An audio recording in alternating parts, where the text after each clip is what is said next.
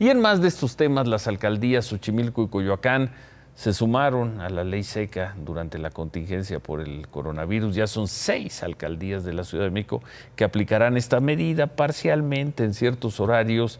Cada alcaldía está tomando sus medidas. Algunas solo restringen horarios, otras sí lo hacen todo el tiempo, otras solo los fines de semana. La jefa de gobierno, Claudia Sheinbaum, dijo que las alcaldías tomaron esta medida porque la gente sigue haciendo fiestas los fines de semana y eso genera aglomeraciones.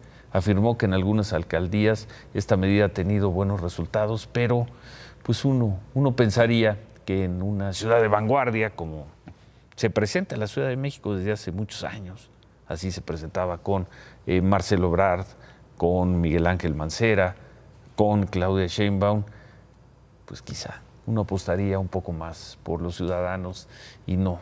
Llama mucho la atención estas medidas de que no se venderá alcohol para que no hagan fiestas y las fiestas no traigan aglomeraciones. En fin.